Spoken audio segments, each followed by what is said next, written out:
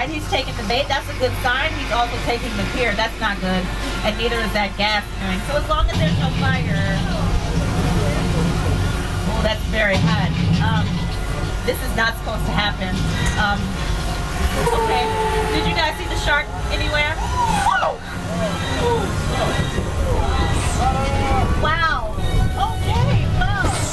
Guys, please don't lunge at the shark. You're just provoking him to wrap. Don't lunge at him, no. Okay.